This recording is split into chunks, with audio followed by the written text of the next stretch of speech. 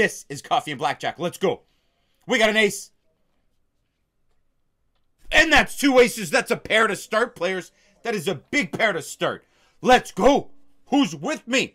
What do you do with two aces? You grab strategy cards, players. Grab strategy cards on neversplittens.com. It says to split.